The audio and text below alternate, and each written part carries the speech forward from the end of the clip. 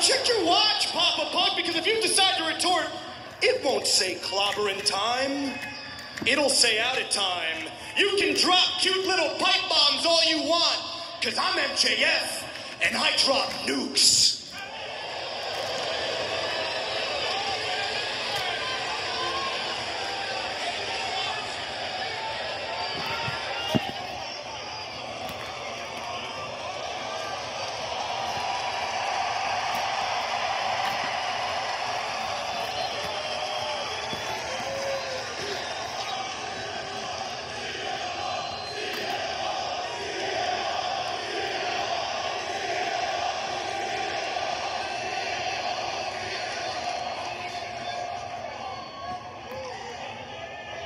I'm so disappointed in you. But let's not start there. Let's show our guest a little bit of Chicago hospitality. I want to thank you first and foremost for last week.